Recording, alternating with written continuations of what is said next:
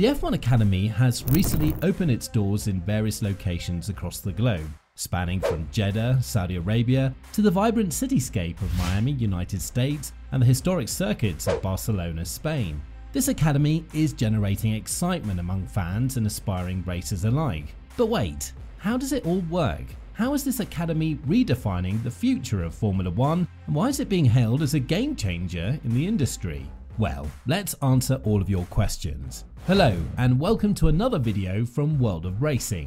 For those who don't know what this F1 Academy is we're talking about, well, it's a female only single seater racing championship that was founded by Formula One. Yup, it's only for the female drivers. And before you start commenting down, why isn't there an F1 Academy for boys? Well, let's say the world of F1 has been dominated by men for a long time. The F1 Academy is all about leveling the playing field and giving young female drivers the same opportunities to shine so boys don't feel left out. This is about making the world of Formula One more diverse and inclusive. Interestingly, the F1 Academy is a spec series. It means that all teams compete with an identical Tatuus F4 T421 chassis. And the cars in the F1 Academy are equipped with tyre compounds developed by Pirelli. That's right, the same Pirelli that supplies tyres for the big leagues of Formula One. If we talk about the engine, each car is powered by a 165 horsepower turbocharged 4-cylinder engine developed by Autotecnica.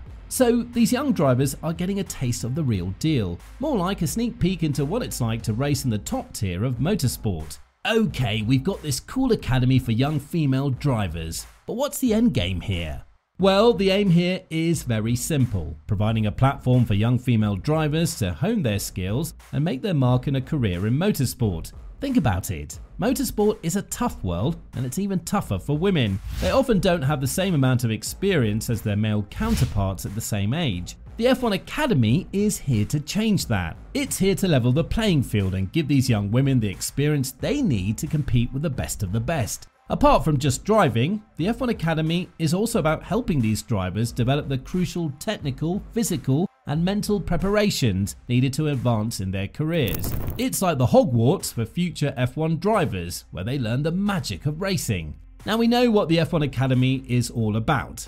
But who are the people driving this initiative? Who are the stars of the show? Drivers and teams? Let's meet them. Firstly, we've got Susie Wolff. If you're an F1 fan, that name should ring a bell. Susie is a former racing driver herself, and she was appointed the managing director for the series. You can say she's the one calling the shots, making the big decisions, and ensuring that the F1 Academy stays on track. And with her experience and passion for motorsport, you can bet she's doing a stellar job. Now, there are five teams currently participating in F1 Academy, Art Grand Prix, Campos Racing, Rodin Carlin, MP Motorsport and Prema Racing. For the 2024 season, all 10 F1 teams are set to support a minimum of one driver each from these five teams. Art Grand Prix is a big deal in the junior racing scene. They've nurtured talent from Lewis Hamilton to Charles Leclerc, and who's rocking the track for them in the F1 Academy? Well, it's none other than Bianca Bustamante, supported by McLaren, Aurelia Nobels, supported by Puma, and Lia Block, supported by Williams. These ladies are tearing up the tarmac and making a name for themselves in the racing world. Next on the grid is Campos Racing. Founded by the late Adrian Campos, this team has been a constant presence in junior Formulae since the late 1990s. They even had Fernando Alonso in their ranks during his single-seater education.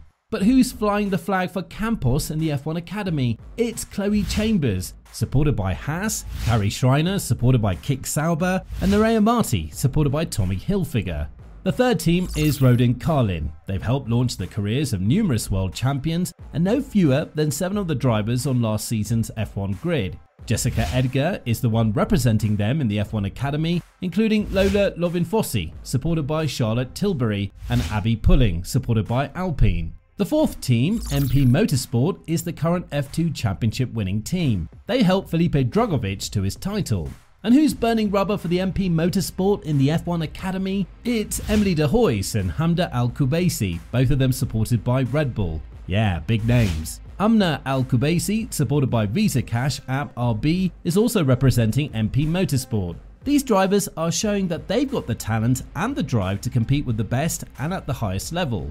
Lastly, Prema Racing. Well, this team has been the go-to team for the Ferrari Driver Academy in recent history. They took Victor Martins to the F3 Drivers' Championship this season. But who's behind the wheel for Prema in this F1 Academy? It's Tina Hausmann, supported by Aston Martin, Doriane Pin, supported by Mercedes, and Maya Weug, supported by Ferrari themselves. You can follow the journey of all these five teams and their drivers on Instagram, where they've already gained a significant following.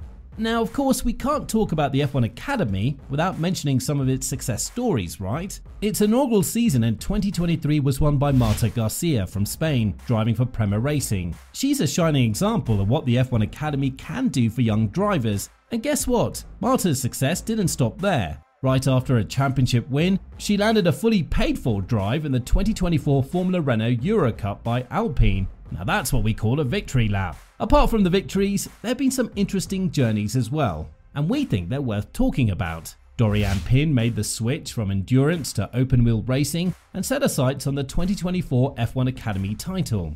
There's Lia Block, who made the transition from off-road racing to the F1 Academy. And what about Carrie Schreiner? In a recent interview, she shared that she's very excited and aims to continue her growth throughout her second season. These are just a few examples of drivers showing that with hard work, determination, and a little bit of grit, you can achieve your dreams. Of course, the road to success is never smooth, and the F1 Academy has had to navigate some serious challenges. Firstly, with the pandemic in 2020, the planned season had to be cancelled. After the 2022 season, the series faced financial issues and was liquidated as no sponsorship appeared. While some fans are thrilled about the opportunities it presents for young female drivers, Others have been straightforward, expressing concerns about the lack of media coverage and public viewing opportunities. If that wasn't enough, there was controversy too. The FIA launched an investigation into a potential conflict of interest involving Mercedes team boss Toto Wolff and his wife Susie Wolff, who's the managing director of the F1 Academy. However, the latest update is that the allegations were denied by Mercedes and F1, and the FIA ended its compliance inquiry. This incident stirred up quite a storm in the motorsport world. And that's a wrap. F1 Academy is a platform for young female drivers to learn, grow, and ultimately make their mark in the world of Formula One. So, what do you think about this academy? Who are your favourite drivers? Any predictions for the next season? Drop your thoughts in the comments down below.